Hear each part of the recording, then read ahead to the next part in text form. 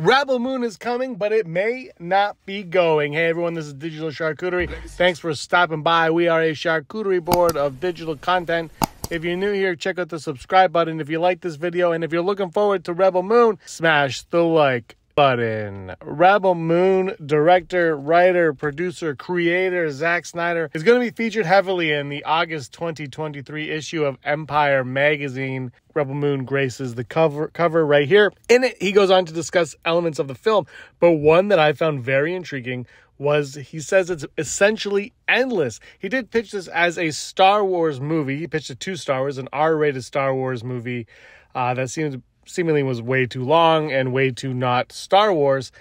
Uh, however, I I am a big Zack Snyder fan, and while I probably agree that the decision to not create this into Star Wars is the right one, a Rebel Moon going to Netflix is probably even more proper trajectory for this. He penned a 450 page Bible outlining all of the lore and aspects of Rebel Moon, very reminiscent of George Lucas when he first did his Star Wars way back in the uh, early 70s. Uh, this is what it seems like. It seems like he has a big understanding of this, and uh, this all came from Netflix saying, How big can this be? And he said, Okay, let's flesh it out. So he fleshed out a 450 page Rebel Moon Bible uh, detailing all the information that he needs. It's all laid out right there in front of him.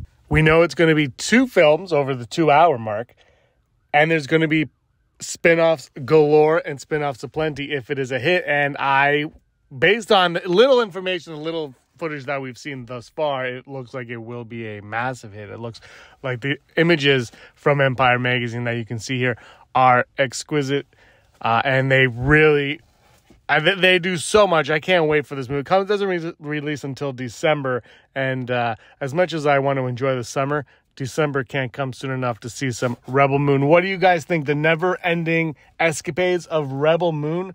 Obviously, it's going to start like a Magnificent Seven, but it's going to build and turn into something completely different. Let me know your thoughts in the comments below. Thank you so much for watching. Give us a like and a subscribe. And until next time, may you be the master of your own universe.